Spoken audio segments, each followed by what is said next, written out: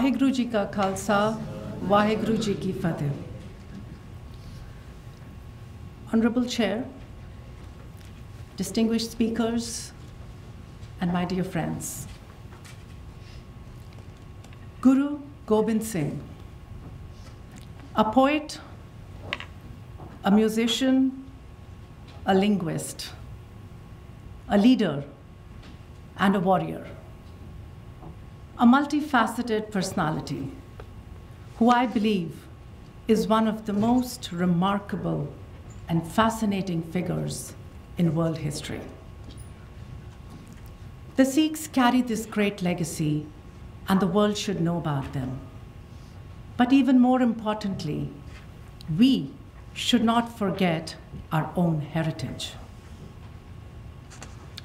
Growing up, there was this commonly prevalent saying, a joke in fact, the only culture that Sikhs know is agriculture. While I am extremely proud of this achievement of my community, this is not the only success that defines us. While we are hardworking and successful farmers and agriculturists, we are also artists.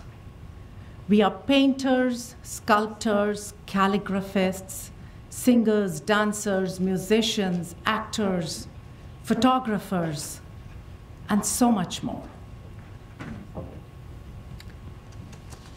I am proud to represent here today the Sikh Foundation, the one organization that recognizes the power and the value of the arts who has worked consistently over decades to collect, preserve, promote, and share our material heritage.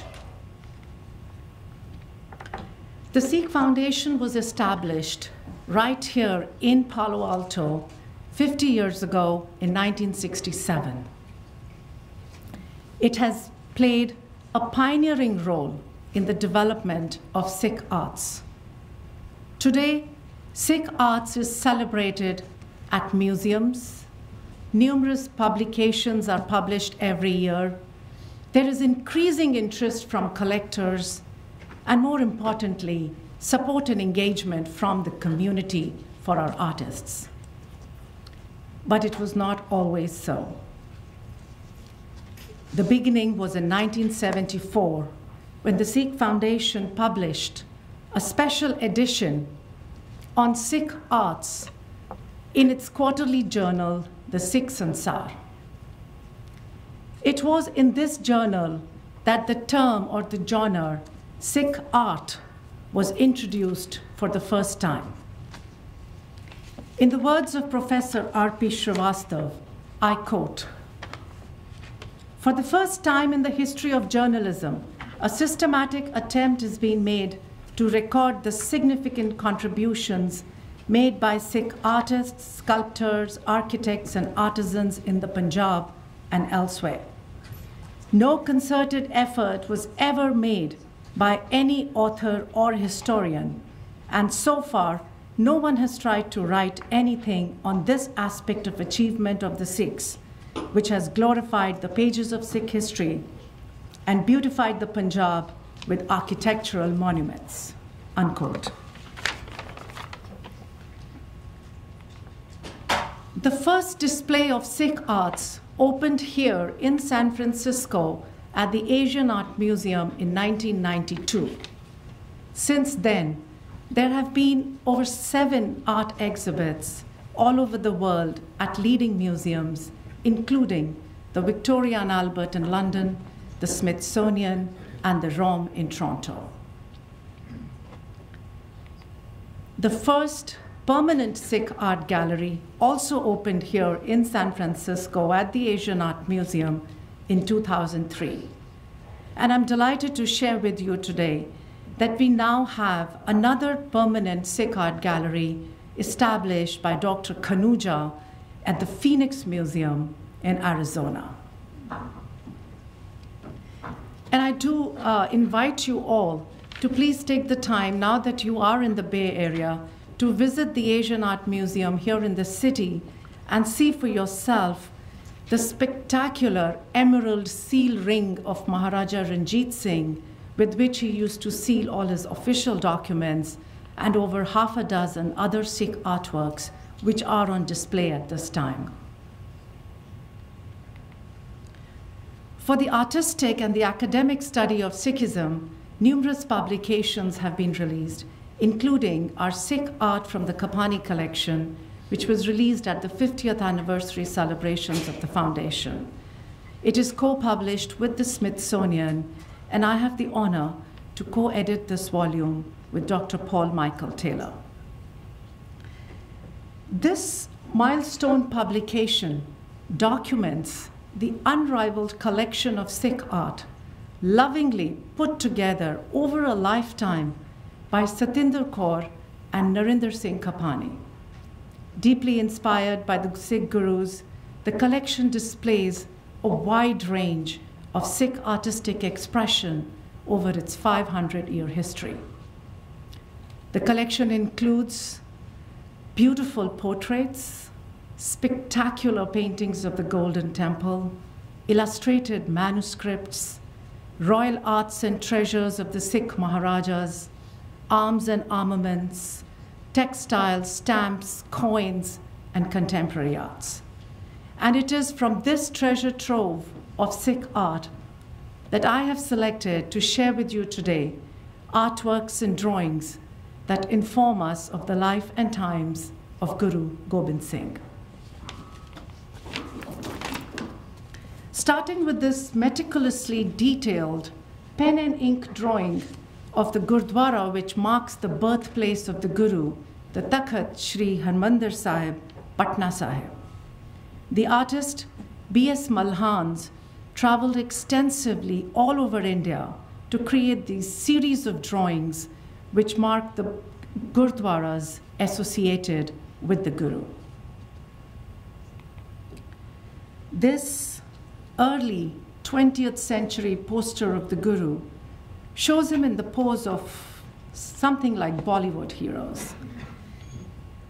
Casually leaning against the ramparts of a fort with a partially visible cannon, dressed as a royal prince of the times, wearing a turban adorned with a white plume, endearing him to his people as Kalgidhar Badsha, the Guru has a measured look on his delicately drawn face, but sports a sword on his hip and bow and arrows on his back.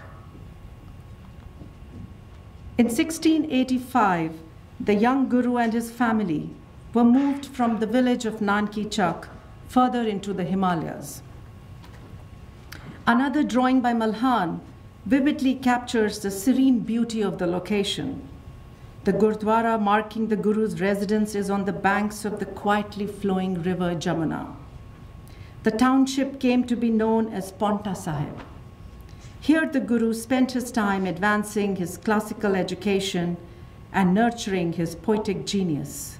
At the same time, he honed his administrative skills and military skills, preparing himself well for his role as the spiritual and the martial leader of the Sikhs.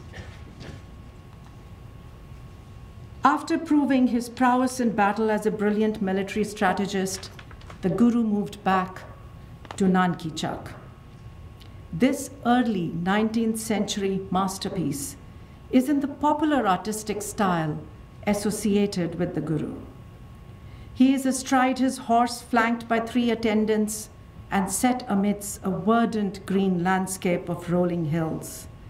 Dressed in fine clothes, adorned with jewelry, and sporting a kalgi on his turban, he holds the reins of his horse, on which is perched his white hawk, Chittiyan Bajanwala.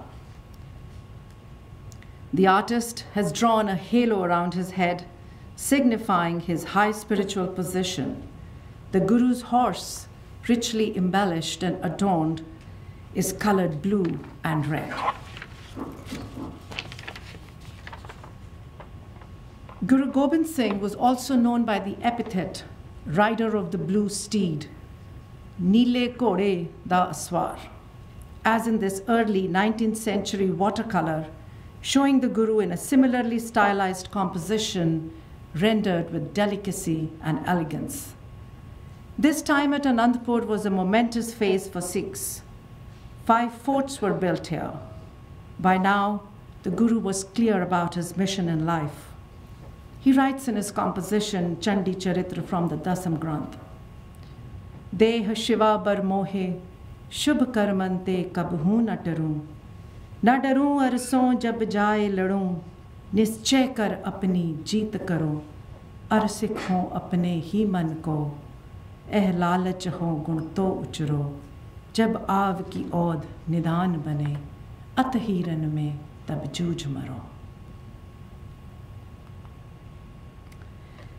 In this contemporary painting by master artist Devinder Singh, the scene is set for the Baisakhi celebrations of 1699 at Anandpur Sahib.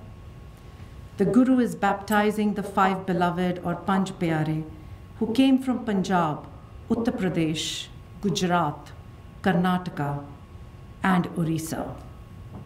These five beloved, hailing from different parts of Hindustan, formed the nucleus of the Khalsa, the order of the pure. The call to battle came soon. The Guru's two elder sons, Sahibzadas Ajit Singh and Jujhar Singh, were martyred in the battle with the Mughals at Chamkaur. The artist imagines the scene before battle. The Guru is presenting his older son with a sword, while the entourage around them looks anxious even though the brave young Sahibzada is smiling in the face of certain death.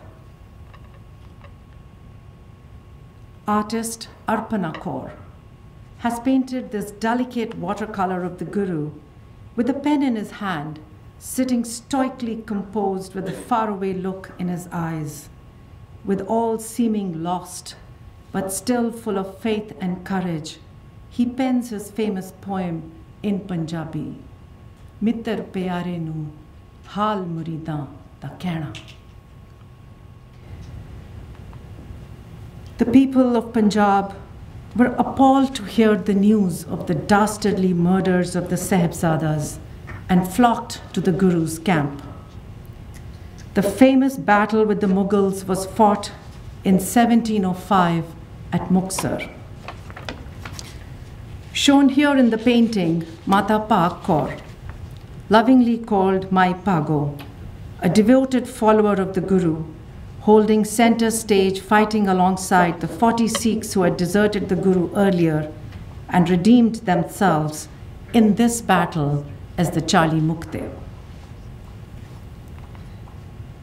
Thereafter, the Guru retired to the village of Talwandi Sabo and prepared the definitive edition of the Granth Sahib to be passed on as Guru for all Sikhs. It was here where he finished the Zafarnama, the epistle of victory, and sent it to the Mughal Emperor Aurangzeb. His own writings were collected by Bhai Mani Singh and compiled as the Dasam Granth. The Guru then proceeded to the Deccan to personally meet Emperor Aurangzeb.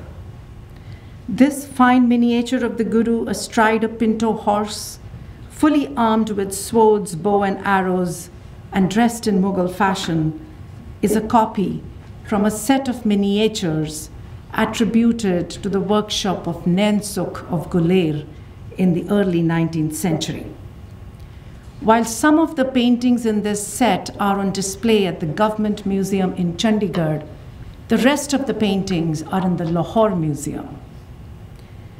This is a legacy of the partition of India in 1947 when art collections were also divided between the two nations, making this complete set in the Kapany collection even more significant. On 7th October 1708, Guru Gobind Singh's life journey ended in Nanded, Maharashtra. The Guru's last directive to the Sikhs was to bestow the Guruship of the Panth on the Shri Guru Granth Sahib, to be revered as the living embodiment of all 10 gurus.